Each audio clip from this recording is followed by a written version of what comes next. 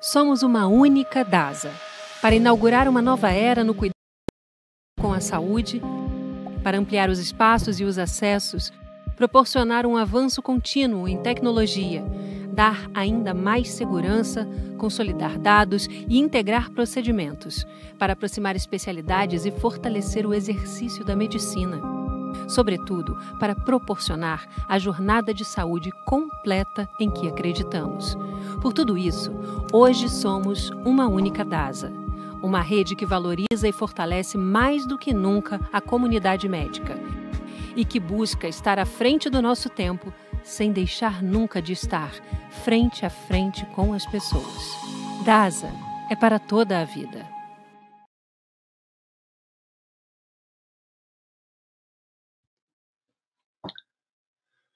Olá, muito boa noite a todos, sejam todos bem-vindos a essa segunda aula do dia do Das Educa aí para genética para não geneticistas. Espero que estejam aproveitando bem uh, e adquirindo novas informações. Né? Agora nós viemos aqui com uma grande amiga e colega, a doutora Nica, Nilka uh, Fernandes Donadil, que é ginecologista, é, obstetra, formada pela Santa Casa de Misericórdia, ela tem é, mestrado e doutorado em fertilidade e fertilização in vitro.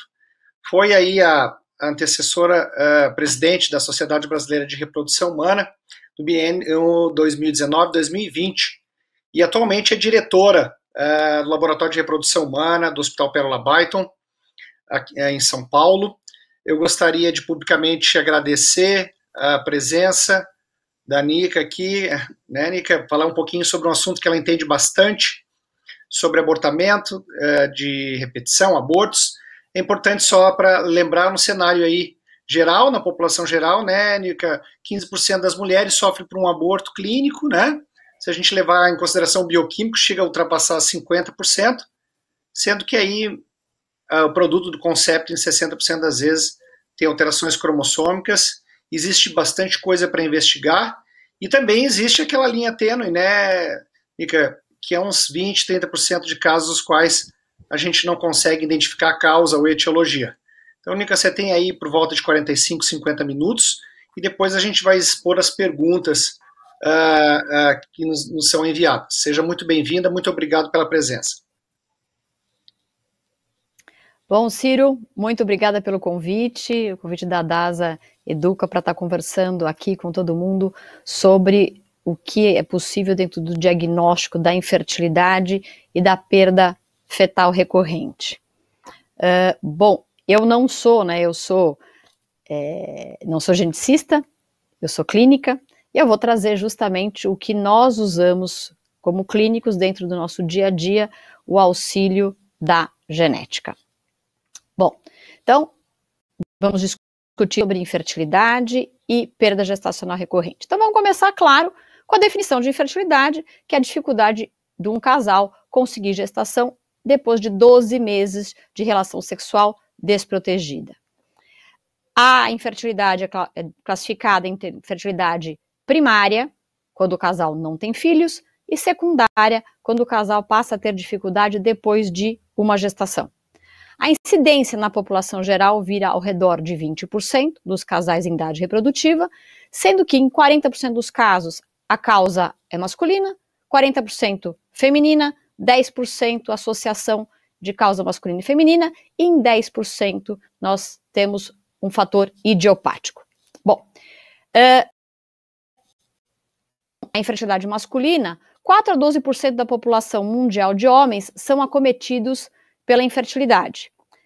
O total, somando os 40% de fatores exclusivos masculinos e os 10% somados masculinos e femininos, e 50% das vezes que o casal tem infertilidade, o homem tem participação no fator.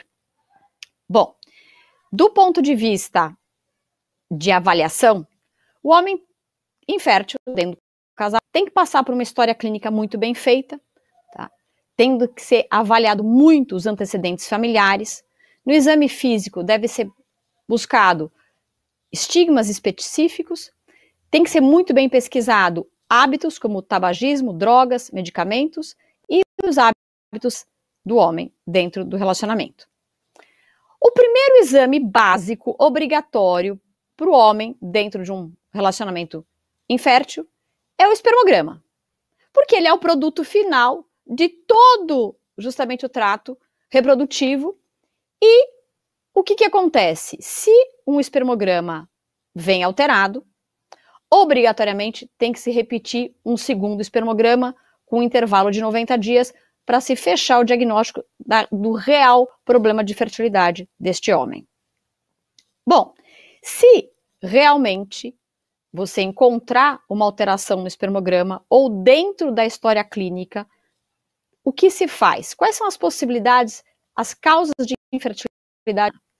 35% das causas varicocele, 23% das causas idiopáticas, 20% causas obstrutivas, 15% insuficiência testicular, 4% causas endócrinas, 1,5% imunológicas, 1% infecções, 0,5% congênito e 0,4% fatores sexuais.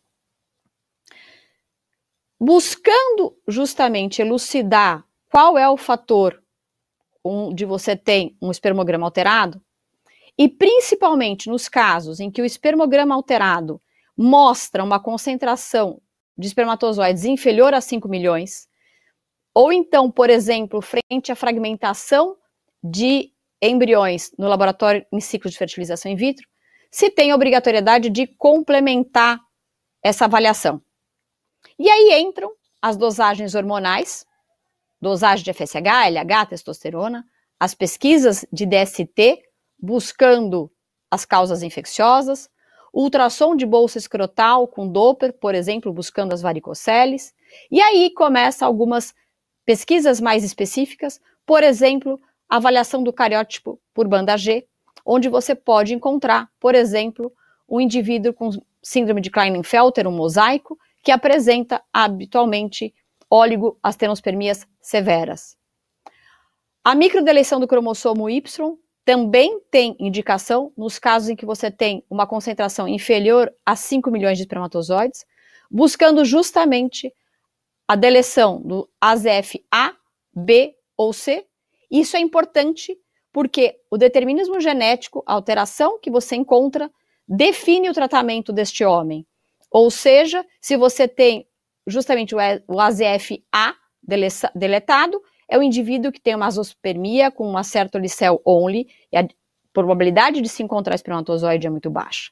Tá? Já no AZF-C, você já tem uma oligospermia grave ou até uma azospermia não obstrutiva, mas que você ainda consegue abordar testículo e encontrar espermatozoides. Então, o diagnóstico eh, específico é importante no ponto de vista de prognóstico e tratamento.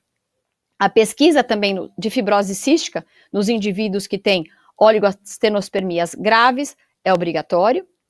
E aqui entra eventualmente a, a avaliação da fragmentação do DNA espermático quando você tem justamente indivíduos expostos a fatores ambientais de risco, quando nós temos alterações do espermograma e quando nós temos dentro do laboratório de reprodução humana, dentro de uma fertilização in vitro, por exemplo, embriões que vão bem, que têm boa qualidade morfológica até terceiro dia, e hora que justamente entra a, a, a necessidade da, do material genético masculino, você tem uma morfologia completamente alterada, com uma fragmentação justamente é, é, maior desse embrião, trazendo então a possibilidade de uma fragmentação do DNA espermático. E entra também dentro da avaliação do homem o processamento seminal, no sentido de saber qual é a possibilidade real de tratamento. Casos não tão graves de oligospermia, com processamento seminal acima de 10 milhões de espermatozoides por ml, com uma motilidade adequada, o casal pode ser encaminhado por uma inseminação in vitro. Já um caso que pós-processamento seminal, o, o recuperado espermatozoide é muito baixo, esse casal obrigatoriamente vai acabar sendo indicado uma fertilização in vitro com ICSI. Bom, uh, o que, que acontece? Para se compreender a fertilidade e a espermatogênese, é necessário um sistema que envolva tanto a avaliação do genoma, epigenoma e fatores ambientais. Tá? 30% dos fatores masculinos são direta ou indiretamente associados aos fatores genéticos conhecidos, como a gente falou agora há pouco. Microdeleição do cromossomo Y, síndrome de Klinefelter, mutação do gene receptor da fibrose cística, principalmente em homens com a genesia de vaso deferente, e outras alterações cromossômicas. Alguns diagnósticos genéticos impactam, como eu disse anteriormente, no prognóstico, por exemplo, a microdeleção do cromossomo Y, que determina se eu vou ou não encontrar espermatozoides para se fazer uma ICSI, ou então se eu vou ter que indicar esse casal para um banco de sêmen. 23 a 30% dos fatores masculinos que são considerados idiopáticos provavelmente estão relacionados aos fatores genéticos. Então, o que, que acontece? A genética vem evoluindo muito e muito rapidamente. A gente passou da citogenética para um FISH e hoje, através do NGS, através justamente do sequenciamento de nova geração e fazendo justamente uh, um sequenciamento do genoma como um todo ou do exoma, você consegue justamente uh, fazer o diagnóstico dentro desses 23 a 30% de fatores idiopáticos que realmente se caracterizam por alterações genéticas. Hoje nós temos vários consórcios avaliando dentro do genético a infertilidade masculina. Existem trabalhos mostrando várias frentes desses consórcios, avaliando mais de 90 alterações eh, eh, trabalhos específicos da parte de reprodução masculina, de infertilidade masculina, buscando as causas genéticas dentro dessas causas idiopáticas. Bom, em relação à infertilidade feminina, nós temos a infertilidade primária, acometendo em torno de até 3% das mulheres, e secundária, chegando em média a 13% nos países subdesenvolvidos. Claro que com a idade, a taxa de infertilidade secundária aumenta, claro, pelo próprio envelhecimento do óvulo. As causas de infertilidade femininas, 25% delas são por anovulação, ou seja, ovário policístico, falência ovariana precoce, ou pela própria idade, uma falência ovariana mesmo pela idade da mulher, alterações tiroidianas, aumento da prolactina, em 15%, a infertilidade é causada por endometriose, 11% por fator tubário, causados por DST, laqueadura ou aderência pós-cirúrgica, 11% por fator uterino, pólipo, mioma.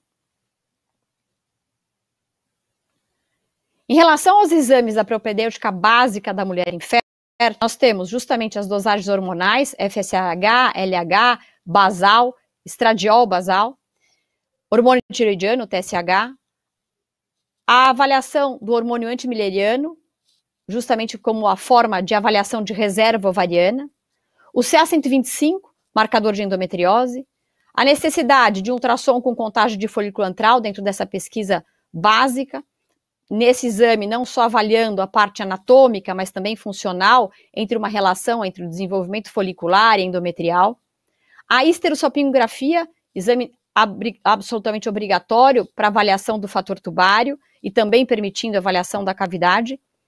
As pesquisas dos processos infecciosos também fazem parte dessa propedêutica da mulher infértil.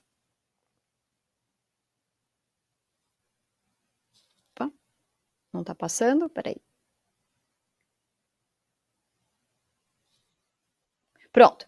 Dentro, quando você encontra tá? Os fatores dentro de uma pesquisa inicial, uma pesquisa básica, se pode complementar com uma pesquisa chamada avançada. Já no perfil hormonal, complementando numa suspeita de anovulação por ovário policístico, um perfil androgênico, uma avaliação de glicemia, o índice Roma. Frente a uma alteração anatômica, principalmente da cavidade, se faz uma esteroscopia, tá? para avaliação tanto de patologia que avance dentro da cavidade endometrial, mas também presença de endometrites, por exemplo. A ressonância magnética para avaliação de endometriose, para avaliação de mioma. Ressonância de célula túrcica para avaliação nos casos de prolactina alta. Ultrassom com preparo intestinal. Esterossono-ressonância nos casos de endometriose. A esterossono-salpingografia também uma forma de avaliação de cavidade e avaliação do fator tubário a pesquisa da síndrome do X frágil nos casos de falência ovariana precoce E nos casos de perdas gestacionais recorrentes, avaliação de doenças autoimunes, das trombofilias e também, nos casos de perda gestacional recorrente, a necessidade da realização do cariótipo.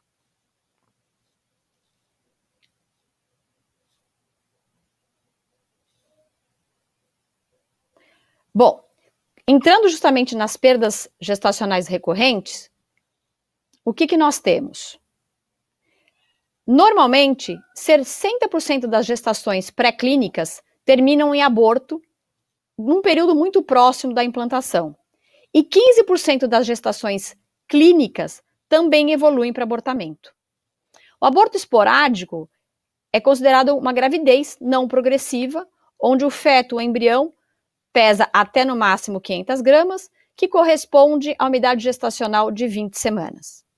A causa mais comum dos abortos esporádicos, espontâneos, em 70% dos casos, são anormalidades numéricas novas no feto, em particular as trissomias autossômicas para o cromossomo 13, 14, 15, 16, 21 e 22, seguidas pelas monossomias do cromossomo X. Por outro lado, as monossomias autossômicas raramente são encontradas em abortos espontâneos e consideradas responsáveis por abortos pré-clínicos. Em relação já não aborto espontâneo esporádico, mas as perdas gestacionais recorrentes, a incidência é de 1 a 3% dos casais em busca de gestação. Se nós considerarmos três perdas gestacionais ou mais, que seria uma das considerações para se definir o casal como abortador recorrente, nós encontraríamos em 1% dos casais. Se nós considerarmos a perda de duas ou mais gestações, 5%. E essa variação, ela se encontra entre as sociedades. Nem toda sociedade considera a perda de mais de duas gestações como aborto recorrente. Algumas determinam que tenha que ser três ou mais abortos para se considerar o casal como abortador de repetição.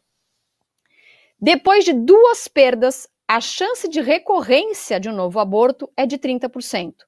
Após três perdas, 33% de recorrência. O, a, o aborto de repetição ele pode ser né, classificado como aborto primário, são dois ou mais abortos consecutivos sem nenhuma gestação anterior. Secundário, dois ou mais abortos consecutivos com uma gestação anterior que tenha progredido além da vigésima semana, que resulta ou nascido vivo, natimorto ou óbito neonatal, mas pelo menos uma gestação que, que evoluiu além da vigésima semana, e aborto recorrente, aborto de repetição terciário, que seriam dois ou mais abortos não consecutivos, com uma gestação entre os abortos que tenha progredido além da vigésima semana.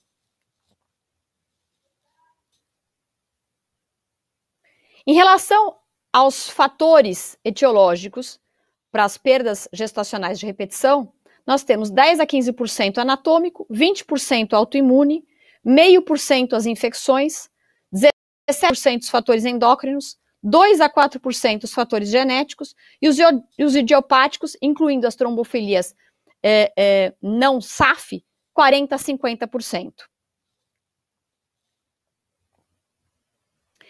Particularmente, eu não gosto de considerar a perda gestacional de repetição como uma doença monoetiológica, mas sim eu prefiro considerar ela justamente como multifatorial, porque é o que, como a gente percebe o comportamento dessas patologias e até justamente a frequência com que a gente encontra algumas patologias.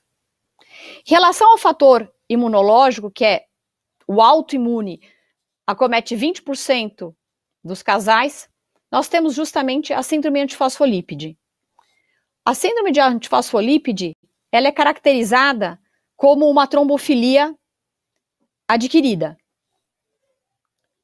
E para se fazer o diagnóstico da síndrome antifosfolípide, nós precisamos ter associação de um fator clínico e de um fator laboratorial.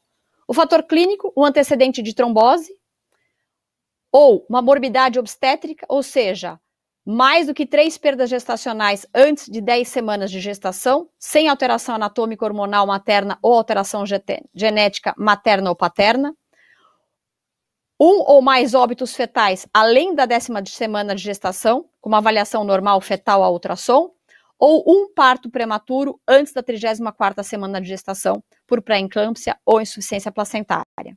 E o laboratorial, ela tem que ter a presença do anticoagulante lúpico em duas ocasiões diferentes, distando 12 semanas dos exames, presença de, anticar de anticorpo anticardiolipina positivo acima de 40, também em duas ocasiões distando mais do que 12 semanas, ou a anti-beta 2 glicoproteína também positiva em duas ocasiões.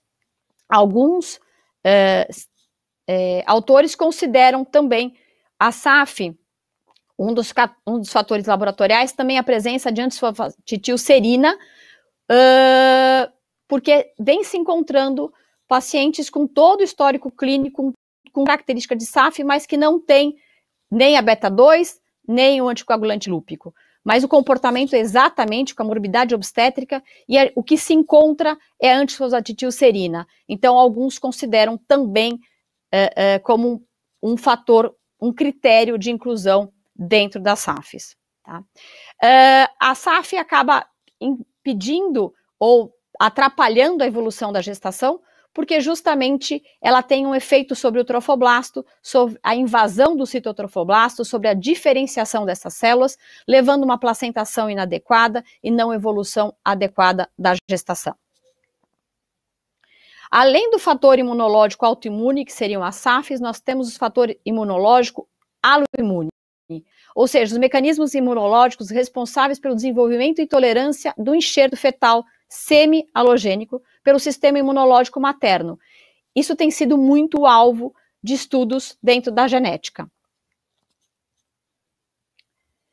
Dentro dos fatores imunes, nós temos que conversar um pouquinho sobre o HLA, tá? Uh, que é justamente é, o antígeno leucocitário humano. Nós sabemos que o trofoblasto, ele apresenta o HLA proveniente pai, mãe, e o que, que acontece? A mãe, por sua vez, no endométrio, tem as células natural killer e ela pode ter o haplótipo KIR-A, que é o inibitório, ou KIR-B, que é o ativador. E o que, que acontece? Essa interação entre justamente o HLA do trofoblasto e os receptores KIR das células natural killer endometrial podem facilitar justamente o desenvolvimento gestacional, ou então justamente causar problemas na implantação, levando à perda gestacional recorrente. Então, o que, que acontece? Aqui vocês podem ver justamente uma, uma, uma situação onde nós temos seis possíveis combinações, tá?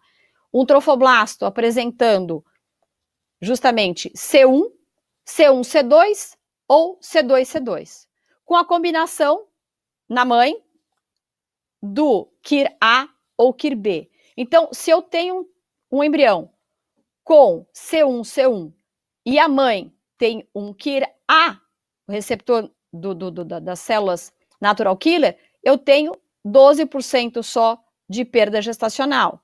Agora, se eu tiver, por exemplo, C1, C1 no trofoblasto e a mãe tiver um KIR B, você tem 32%. Agora, C2, C2 no trofoblasto, e você tem a mãe aplótipo Kirá, a gente chega a 33% de não evolução. E hoje, a genética nos permite, através do PGT HLA, justamente fazer a avaliação do HLA do embrião e também essa técnica pode ser usada nos casos de óvulo doação, onde se avalia o HLA da doadora para saber e para fazer a escolha melhor da doadora que vai doar óvulos para esta mulher, para que seja o sistema HLA-KIR seja compatível e que não leve à perda gestacional. Fator imunológico também em relação às citocinas, o que, que nós temos? Para a implantação, nós temos que ter um equilíbrio entre as citocinas produzidas pelos linfócitos T helper 1 e T helper 2. Quando não existe esse equilíbrio, onde você tem justamente uma produção maior de citocina pelo T helper 1, você acaba tendo justamente abortos recorrentes. Dentro do fator endócrino, nós temos 17 a 20% que contribuem para as perdas gestacionais e principalmente no fator endócrino as alterações de tiroide, o hipotiroidismo. Então, hoje, uma mulher buscando gravidez e no primeiro trimestre de gravidez, se nós temos um TSH superior a 2,5, nós tratamos com levo para diminuir justamente a incidência de aborto recorrente. Nós não tratamos quando a gente só encontra o anticorpo positivo sem um aumento do TSH. Em relação ao fator anatômico ligado às perdas gestacionais, nós temos 10 a 15%, e elas ocorrem justamente por uma interrupção na vascularização do endométrio, levando a uma placentação inadequada. Dentro dos fatores anatômicos, o mais comum seria justamente dentro das variações uterinas congênitas, o útero septado, tá? E a síndrome de Asherman, além dos miomas submucosos.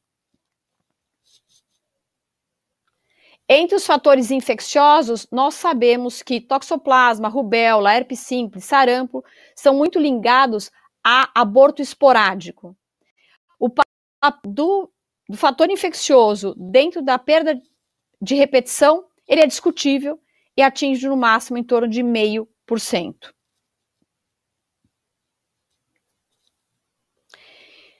Aí, dentro dos fatores que teoricamente seriam idiopáticos, a pessoa consegue é, é, habitualmente acaba colocando as trombofilias é, não linkadas às SAFs, tá? Não linkadas a justamente as trombofilias adquiridas. Então, seriam as trombofilias hereditárias e mistas.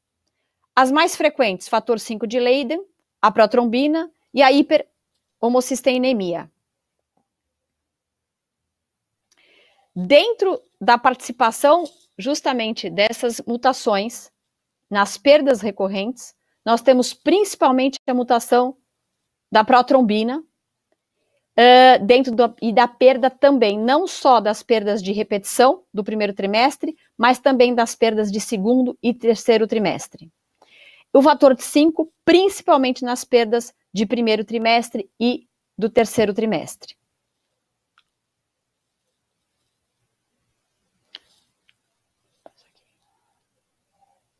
O mecanismo de ação das trombofilias é justamente aumentar o, a, a, o fator de coagulação, promovendo justamente uma irrigação placentária inadequada. Um fator muito questionado hoje é em relação a metiltetrahidrofolato redutase e a sua participação dentro das perdas recorrentes, tá? É, o que que acontece? Quando existe associação da mutação da metiltetrahidrofolato redutase a uma hiperhomocisteinemia, é, existe sim o link com a perda é, gestacional de repetição. Tá?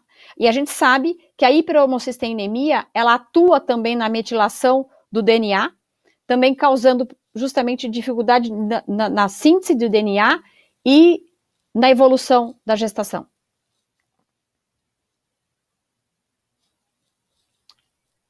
Bom, existem algumas, eh, alguns questionamentos em relação à necessidade de avaliação de painel de trombofilia para os pacientes com perdas gestacionais recorrentes, tá?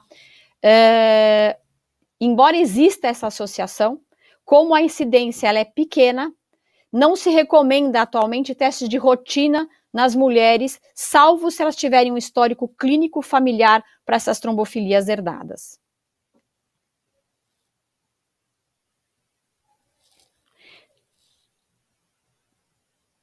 Em relação ao fator ambiental, existe sim uma participação, principalmente entre tabagistas, consumo de álcool e cafeína. Em relação ao fator genético ligado ao aborto de repetição, ele participa de 2 a 4%. E normalmente no aborto de repetição, você encontra um rearranjo estrutural equilibrado nos pais, como uma translocação recíproca ou robertsoniana, tá?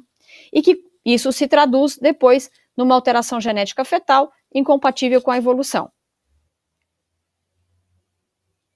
O que acontece hoje com justamente esse o sequenciamento do genoma ou do exoma, a avaliação do cariótipo inicial dos pais, com essas novas avaliações por NGS, nós conseguimos encontrar muito mais alterações do que se encontrava anteriormente.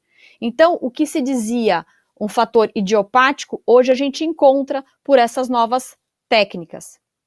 Então, hoje, aplicando o NGS, aplicando justamente o sequenciamento de todo o genoma, dentro da perda gestacional de repetição, nós não temos só 2 a 5% de fatores genéticos, mas sim aumenta em 5 a 10% em função justamente de todas essas técnicas que possibilitam essas avaliações. E o importante é que através desse diagnóstico das patologias genéticas que os pais carregam, nós podemos fazer a avaliação genética dos embriões através do PGTA, da, da avaliação das aneuploidias, do PGTR-SR, que é para avaliações estruturais, e do, P, do PTGN, no caso de uma, de, uma, de uma alteração monogênica. Bom, o que, que acontece? Nós temos a fator genético quando o pai ou a mãe tem alteração. Agora, a gente sabe que no aborto de repetição, e no aborto espontâneo, esporádico, 70% dos fetos têm alteração genética. No aborto recorrente, nós encontramos também um aumento das alterações genéticas no produto conceptual. Então, nós temos um total de 47% dos pacientes com aborto de, de, repetição alterações deste produto conceptual. O que, que acontece?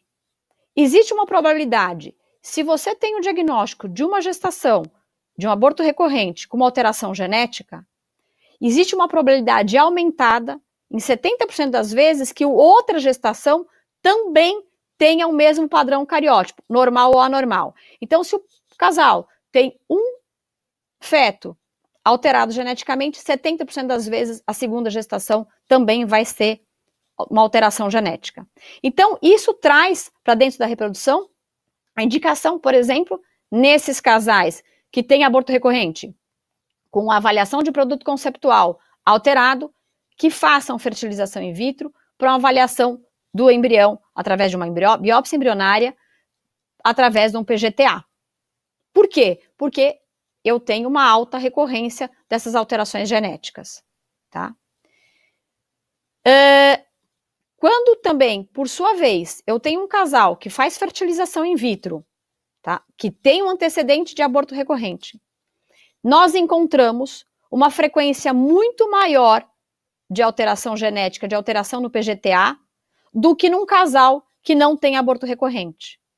Esses casais chegam a ter, numa média, 25% de embriões alterados, mesmo em pacientes com idade não avançada. E este padrão, esse patamar se repete ao longo dos ciclos de fertilização in vitro. Tá? Claro que existe uma discordância, uma, uma, um questionamento dentro da medicina reprodutiva no sentido de indicar a avaliação genética nos casos de aborto recorrente. Por quê? A incidência teoricamente é pequena, existe em 30%, em 70%, vamos supor, um casal que teve três perdas, de ter uma terceira, uma outra perda, é de 30%. Tá bom. Só que 70%, mesmo sem eu não fazer nada, esse casal pode ter uma gravidez que vá à frente sem eu fazer absolutamente nada. Então, os questionamentos são quanto custo. Ah, por que, que eu vou gastar, segundo esse trabalho que foi publicado, com uma avaliação grande de, de casais, o que, que ele estudou o Muragapan que o custo por criança, se eu não fizer nada, ter uma conduta expectante, é de 418 dólares. Se eu fizer, na realidade, toda uma pesquisa, avaliação genética, tudo isso desse casal, esse custo pode chegar a 10 vezes mais a 100 vezes mais. Então, existe um questionamento da indicação dessas avaliações genéticas. Só que acontece que aqui a gente tem que levar muito em conta o fator emocional desses casais. Ficar abortando e perdendo não é factível com toda essa, essa, essa possibilidade diagnóstica que nós temos hoje pelas avaliações genéticas. Então, a hora que você coloca isso para o casal, olha, você pode fazer uma, uma fertilização in vitro com uma avaliação genética do teu embrião para você evitar novas perdas gestacionais, o casal vai optar. Então, isso tem que ser pelo menos oferecido para o casal, para que ele faça essa escolha.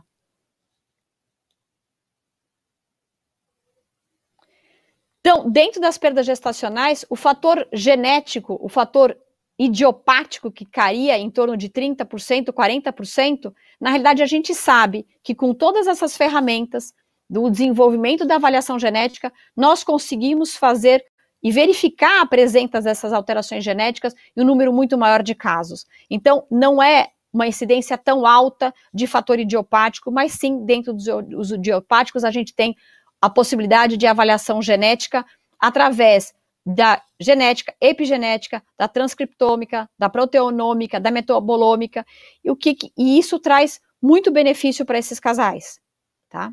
Nós temos hoje vários trabalhos, tá? Mostrando justamente, são mais de 90 centros fazendo trabalhos genéticos em relação à avaliação de polimorfismo, Tá? O grande problema é que quando você faz, por exemplo, um sequenciamento de um genoma, você encontra algumas alterações, algum polimorfismo, muitas vezes você não consegue fazer uma associação direta à perda gestacional. Tá? Então é por isso que eu acho que muitas vezes os fatores de perda gestacional, eles atuam meio que de forma poligênica, ou seja, são várias alterações que associadas realmente aparecem como desfecho final à perda. Agora, claro, o que, que a gente busca? Né? Nós buscamos, dentro dos estudos genéticos, genômicos, infertilidade e perda gestacional recorrente, três objetivos. Identificar os marcadores baseados em NA, RNA, que apresentam valor preditivo direto ao risco de um casal ter infertilidade e perda recorrente de gravidez. Avaliar o binômio de expressão gene-proteína envolvida ou não envolvida no estabelecimento bem-sucedido da gravidez e da codificação de locos para novos biomarcadores não invasivos aplicáveis em condições clínicas para complicações precoces da gravidez.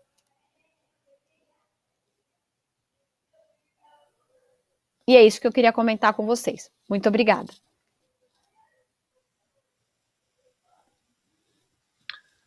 Muito bem, muito bom, Nilka, muito bom. É bom assim a gente relembrar algumas coisas também, né? apesar de a gente já estar tá muito tempo na área aí, algumas coisas são importantes e a maioria que nos ouve aqui, Nilka, obviamente não está muito habituado nessa área.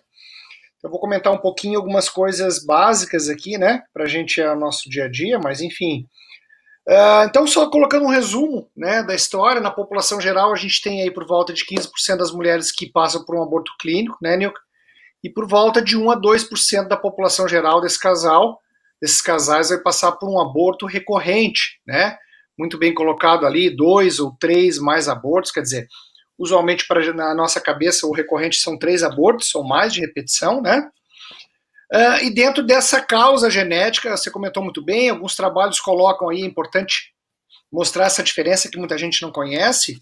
Quer dizer, alguns trabalhos, como você mostrou, mostram 2 a 4%, outros por volta de 10%, outros aí em média 7 a 5%, que é o que eu tenho na cabeça, o qual a gente vai encontrar nesse casal com aborto de repetição uma alteração no cariótipo deles, né, Nilka? Que é, como você colocou, translocações aí que são importantes.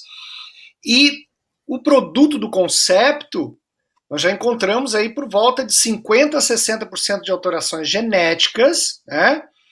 Não herdadas, que são as aneuploidias, são as, as cromossomopatias aí, né, de vários tipos de cromossomos. Quer dizer, existem esses dois panoramas e que sempre é importante na investigação básica do casal cariótipo, porque a importância da, do cariótipo em si não é só no aborto recorrente, sim o risco que aumenta devia ter um filho, um filho né, com alteração aí ao nascimento, malformações congênitas que pode aumentar três ou quatro vezes, né, Nico? Então, panorama geral é isso. Você mostrou também as trombofilias hereditárias, as adquiridas, que hoje está muito em moda, né?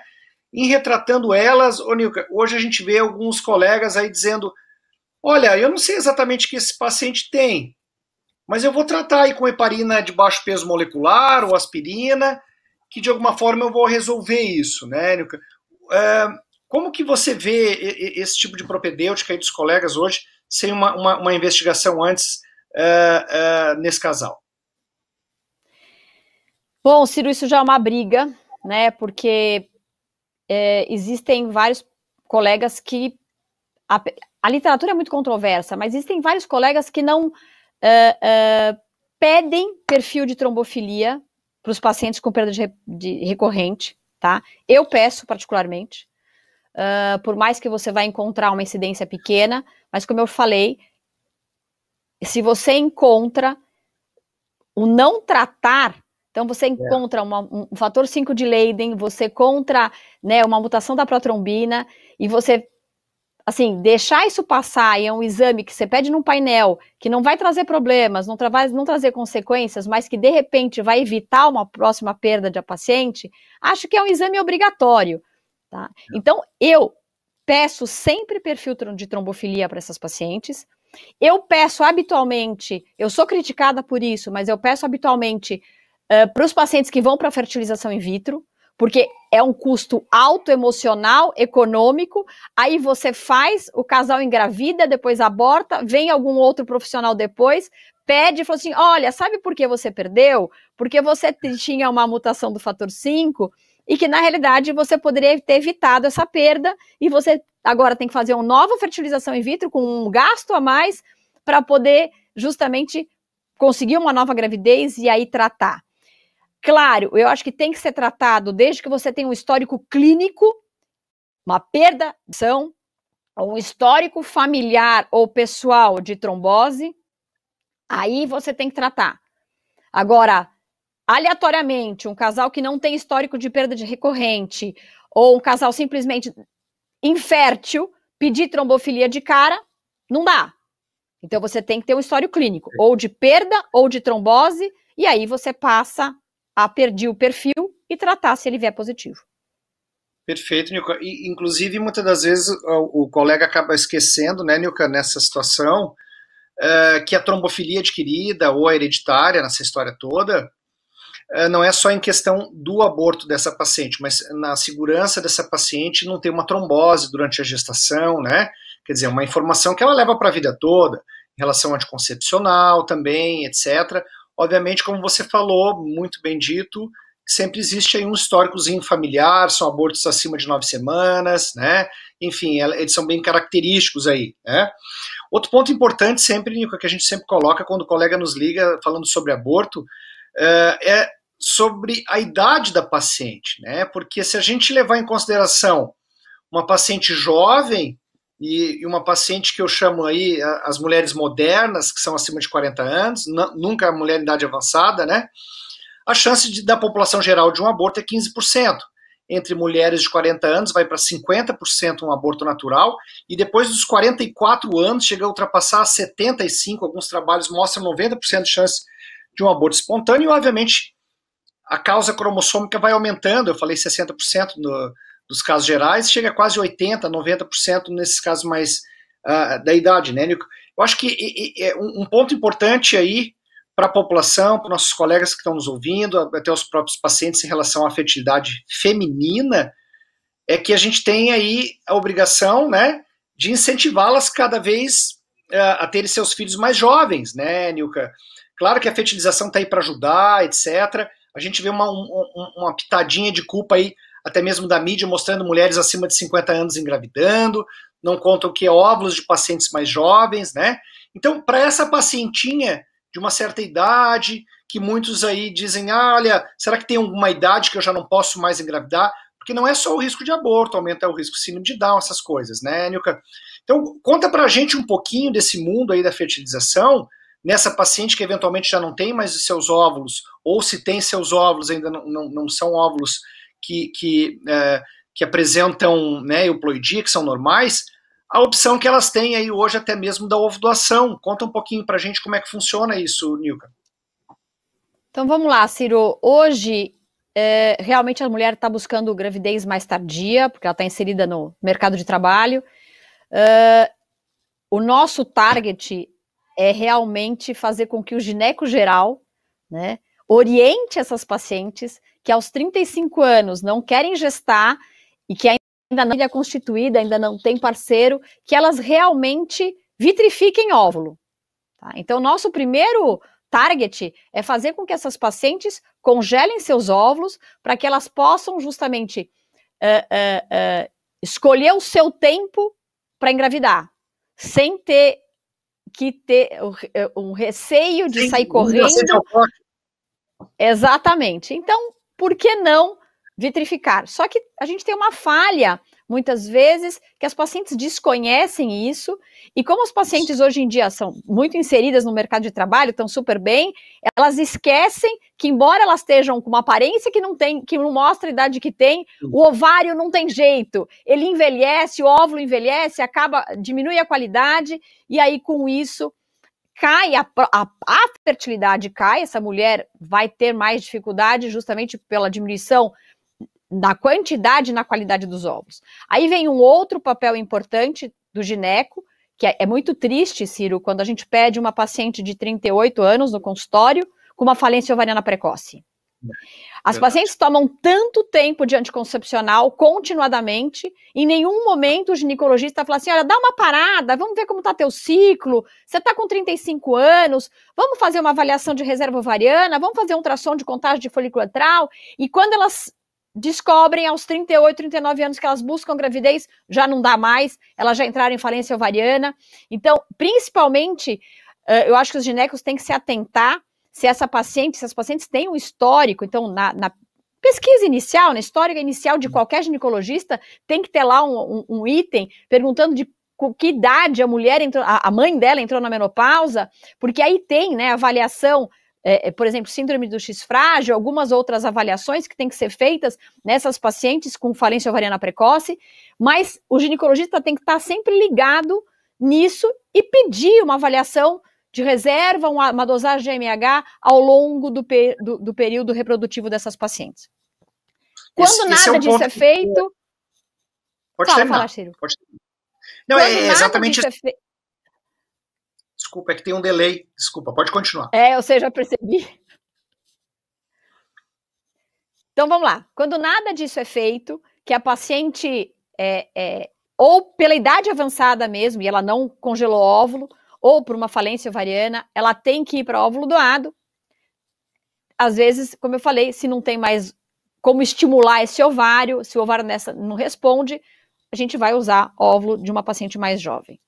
E para as pacientes que ainda têm uma resposta ovariana não adequada, são consideradas pobre respondedoras, têm menos que 5 folículos, antrais nos ovários, ou têm um MH abaixo de 1,1, elas vão responder de uma forma inadequada ao estímulo de gonadotrofina. Tá, o que, que eu faço com essas pacientes, principalmente se elas tiverem idade avançada? Claro que o melhor dos mundos é conseguir um embrião, levá-lo a blastocisto, fazer um PGTA e transferir embrião euploide. O grande problema que a gente tem é que nem sempre eu tenho uma quantidade de óvulo, nem uma quantidade de embriões no terceiro dia de desenvolvimento que eu consiga tranquilamente levar este embrião para blastocisto. Então, nós temos aqui duas realidades. O que eu gostaria que acontecesse sempre é que eu conseguisse um embrião de boa qualidade, que ele chegue a blastocisto, que eu faça a avaliação genética e eu transfiro embrião euploide para eu evitar os riscos eh, inerentes do avançar da idade, do aumento das alterações das aneuploidias nessa, nesse feto, né, nessa, nessa gestação. A gente sabe que grande parte das aneuploidias cursam com a não implantação ou com aborto precoce, Sim. mas a gente tem um percentual que são crianças que evoluem e que acabam justamente gerando crianças especiais. Então, a busca pelo PGTA é justamente para minimizar o risco dessas gestações que levam ao nascimento de crianças especiais, mas também para evitar os abortos. Como eu falei, querer chegar a fazer um PGTA é o melhor dos mundos, mas nem sempre a gente consegue. Então, muitas vezes nós discutimos os riscos com, com as pacientes, uh, porque a gente sabe que existe uma média estimada de 18% dos embriões em D3 que não chegam a blastocisto em laboratório, mas chegariam no útero. Entendi. Então é isso que, que acaba sendo pesado. Ah, eu tenho um único embrião em D3 de uma qualidade intermediária. A gente discute com a paciente, individualiza, fala: olha, pode ser que eu não tenha um blastocisto nem para biopsiar, então você quer transferir agora, você vai ter uma chance, mas corre o risco de uma alteração genética. É individualização Sim. da medicina que é muito específica na nossa área. Perfeito, Nilka. É um assunto que, inclusive, a gente vai discutir isso na, na, na próxima aula aí, né, do, do Das Educa, da genética para não geneticistas, análise embrionária, tal, etc. Para quem tem mais interesse, semana que vem. Mas assim, Nilka, para médica ou para nossa a nossa amiga aí, né, independente da idade que ela esteja, você já falou sobre isso, mas para quem ainda não conhece, né, uh, ela quer saber a quantas anda o ovário dela, né, Nilka? A gente chama isso de reserva ovariana, né? O que, que se sugere para ela, se ela pode esperar mais um pouquinho, não pode? Comenta um pouquinho aí do antimileriano, dos folículos antrais, né, que são parâmetros que a gente tem para saber mais ou menos a idade do ovário, a quantas, a quantas andam aí o ovário, né? É, Ciro, é exatamente o que eu coloquei para você. Eu acho que toda paciente tem que fazer, a partir dos 35 anos, uma avaliação de reserva ovariana, e que hoje a gente, passado, a gente só tinha a dosagem de FSH basal, Hoje, graças Sim. a Deus, a gente tem a contagem de folículo antral e a dosagem do, do hormônio antimileriano.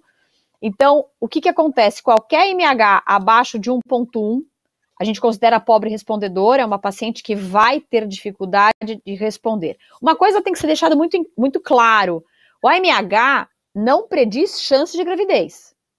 Tá? Então, eu posso ter uma paciente jovem, de 30 anos de idade, que perdeu um ovário e parte do outro ovário numa cirurgia, ela vai ter um AMH mais baixo, mas a taxa de gravidez dela, a chance de gravidez dela é muito maior do que uma mulher que tem exatamente o mesmo AMH que do que ela, ou até mais baixo, mas que tem uma idade mais avançada. Então, o AMH, ele não é diretamente linkado à chance de gravidez, mas sim a capacidade de ovário responder a estímulo. É para isso que serve o AMH. O AMH, ele não consegue predizer a idade que a mulher vai entrar na menopausa. Então, a mulher faz um AMH hoje aos 35 anos, vem 1,5. Ah, legal, posso esperar mais 3 anos, 4 anos. Não, não é assim, de forma alguma, tá? Porque isso é uma associação entre idade e reserva ovariana. Então, o fator isolado, o AMH, é uma foto do ovário hoje. Não prediz o que vai acontecer daqui a um ano. E outro o papel importante, então a gente tem o AMH, que é o, o hormônio antimileriano, e nós também temos a contagem de folículo antral. Tá? Agora, uma coisa importante é para qualquer paciente que vai ser operada, principalmente de endometriose e principalmente se ela vai ter os, ambos os ovários abordados nessa cirurgia. A gente sabe que a abordagem no ovário diminui a reserva ovariana. Então, eu sempre falo para as pacientes que têm indicação de cirurgia videolaparoscópica e vai mexer no ovário, que ela faça uma dosagem de AMH prévio. Se já tiver uma dosagem mais baixa, que ela congele óvulo antes de operar, tá? Se ela já for casada, relacionamento estável, que congela embrião, antes de fazer a cirurgia. Então, é outra Perfeito. função do AMH. Perfeito. E é assim, Nilka, a gente já está encerrando rapidamente, eu acho que muitos têm essa dúvida, né? Aborto aí, Nilka, quando a gente investiga, né? O primeiro normalmente não, o segundo talvez, depois o terceiro com certeza. Uh, e quando a gente fala em investigação, a gente fala, uh, como você deixou muito bem claro, tanto a investigação do produto, do conceito, né, que é o cariótipo desse, desse bebezinho, como a investigação do casal, né? O que, que você costuma fazer? A partir do segundo, terceiro, como é que é a tua rotina?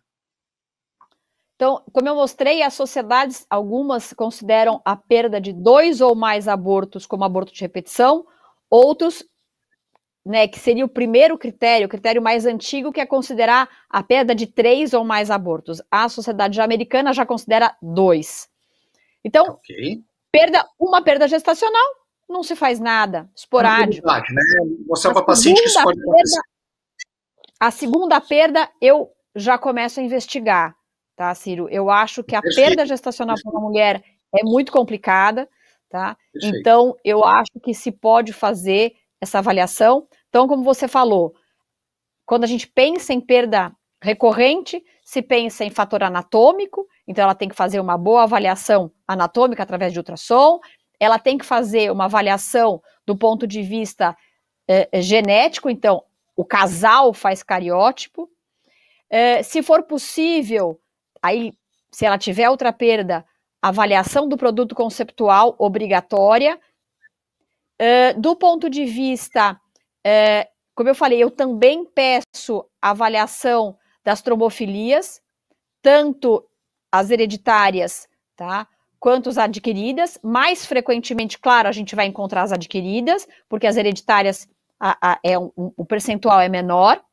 Mas, como eu falei, isso é uma briga Tá? Na literatura, os estudos são muito controversos, mas eu prefiro investigar, ainda mais como eu falei, se tiver algum histórico anterior de, de, de trombose na familiar. Uhum. Tá?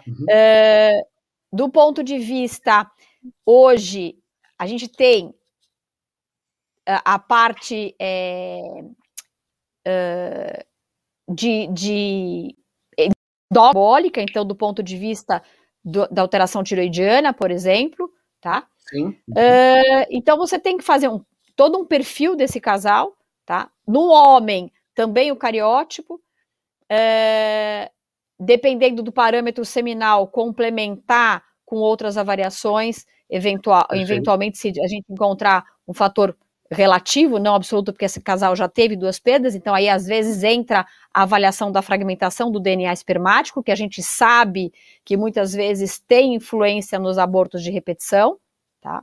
Então ele não entraria dentro de uma rotina, mas no caso da perda gestacional recorrente entraria. Perfeito. É, tem uma pergunta aqui da Rosina Toledo, que você já respondeu na aula, ela colocou antes, né? O que seria apropriado estudar num doente com abortos de, é, repetidos no primeiro trimestre de gestação, que todos os estudos anteriores têm dado normais, né? Perguntando sobre rizoma, abortos, é, painéis, doença recessiva. Assim, eu, uh, só colocando a minha opinião, eu não, não, não aposto muito em painel de doença recessiva em abortamento, até porque a maioria das doenças monogênicas dos casais que eu tenho filhos com problema não costumam ter abortos, né? É, é, é pouco provável, é uma opção, mas você mostrou muito bem, tanto para a parte, principalmente quando a paciente submete a fetização, que não, mesmo jovem não tem tantos óvulos, ou tem aqueles óvulos né, não maduros, ou embriões que não, não evoluem, aí sim talvez seja um momento de uma investigação genômica mais acurada, etc. É, pelo que eu vi, a gente não tem mais dúvidas, estamos chegando aí a 21 horas e 3 minutos, então eu queria encerrar aqui, agradecer de coração aí a, a, a excelente aula da Nilka aí, que tem bastante experiência na área, e deixar para vocês, temos mais aulas ainda de genética para não geneticistas na semana que vem, inclusive sobre esse tema também, com análise genética de embriões e também em diagnóstico pré-natal. Uh, agradecer a presença de todos, dar uma boa noite a todos, espero que tenham aproveitado uh, com alguma informação aí adicional para o conhecimento. Um forte abraço e nos vemos na próxima. Boa noite a todos.